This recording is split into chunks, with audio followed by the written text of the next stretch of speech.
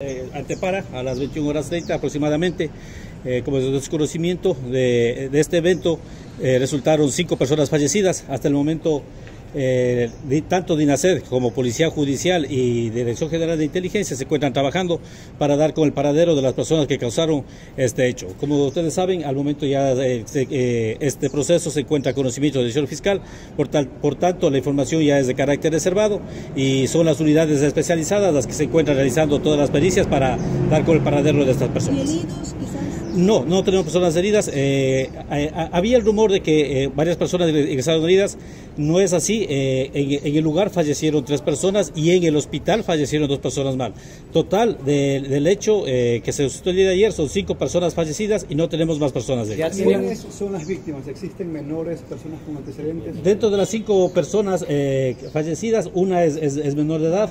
Asimismo, una de estas personas presenta, presenta dos antecedentes, una por estafa y una por homicidio. ¿Para todas ellas fue dirigido el ataque? Tenemos conocimiento que sí, eh, más o menos la, investigación se, se, está tratando de ir despejando algunas hipótesis, entre una de esas y la que se tiene más... Eh, certeza es de que se trata de personas que se dedicaban al microtráfico, a, la venta de sustancias sujetas a fiscalización, y, hay otra, otra organización que a lo mejor quiere eh, entrar a este territorio, es por esto que se dio esta, esta masacre. ¿El menor también estaría implicado en esta el, sabemos que por, por los videos que se, que se encuentran reclamando que el menor se encontraba con las personas adultas justamente en ese lugar. ¿Se involucrado? Podría estar involucrado también en, en, la venta ahora, de sustancias. operativos? ¿Cuántos y hay detenidos hasta ahora? Mm, nosotros como, eh, eh, como servicio preventivo no tenemos personas detenidas. De forma inmediata se realizaron operativos tanto con, con, con grupo motorizado y con, con, el personal preventivo, tratando de identificar al vehículo y a la, motocicleta que participó en este evento. ¿Qué tipo de vehículo y cómo actuaron estos sujetos? Es, es un automóvil tipo Spar, un automóvil pequeño y una motocicleta que pasaron por el lugar y realizaron los, los disparos hacia las personas. ¿Qué tipo de armamento se eh, eh, según las, las, vainas que se, se recolectó en el lugar, es 9 milímetros, entonces presume que es una pistola semiautomática. ¿Cuántos actuaron? No tenemos conocimiento cuántos, en razón de que en las cámaras únicamente se ve el vehículo, no se ve el interior, cuántas personas están. En la motocicleta sí existen dos personas que son las que se encuentran movilizadas. Mm, eh, criminalística hizo, hizo levantamiento de, justamente de estos indicios, entonces no, no tenemos todavía eh, exactamente la, información.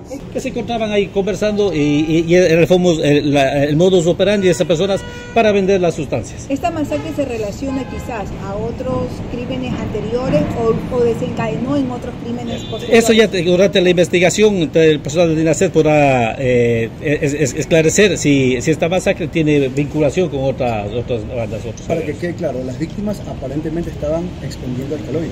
Sí, nosotros tenemos esa, esa, esa hipótesis que es una de las que se está manejando, que son personas que se, eh, se dedicaban en este sector a, vender sustancias sujetas a fiscalización. Esta problemática tal vez ya lleva algún tiempo en este sector del expendio, ¿no? Este parque nosotros con Policía Comunitaria lo hemos venido ya eh, interviniendo por, por, varias ocasiones. Se ha hecho eh, varias ocasiones, se ha hecho la intervención de este parque con Policía Comunitaria. Aún así, se ha, comunicado a la ciudadanía de que se empoderen también de, este parque las personas, pero la ciudadanía eh, no, no, se empodera, no, no hace uso de, esta, de, estas instalaciones. Y es, es, ahí cuando los microexpendedores también proceden a ellos a, ocupar estos espacios públicos para hacer su, su expendio de sustancias. No hay colaboración. siendo el 9 de octubre está ubicado en el séptimo de los más violentos que existe acá con una mínima baja diferencia del 2023. ¿Cuántos operativos están realizando pese a que existe, existió la masacre del día de ayer? Bueno, nosotros como Distrito 9 de Octubre, en relación al año anterior, tenemos, teníamos hasta el día de ayer una reducción de menos 14 muertes violentas. Con las cinco muertes violentas de ayer tendríamos menos 9. En el tema de delitos también tenemos una reducción de menos 71 de, delitos cometidos aquí en nuestro sector. estábamos, estamos hasta, hasta ahora en verde tanto en muertes violentas como en, delitos que se desarrollan aquí en el sector. Hemos tenido una buena productividad eh, durante el transcurso de este mes. Hemos desarticulado una banda que se dedicaba a la estafa, en el cual hubo, hubo 15 personas detenidas. Se, eh, hubo eh, aprehensión de, de, dos, de, cuatro ciudadanos en dos eventos diferentes en el tema de secuestros. uno de secuestro extorsivo y otro de secuestro express. Entonces, como, como productividad, nosotros hemos tenido mucha productividad. Tenemos cuatro armas recuperadas en el mes. Tenemos 36 detenidos en, lo que va del mes, 5 vehículos eh, detenidos, 7 vehículos recuperados, motos recuperadas 2 y motos retenidas también 2.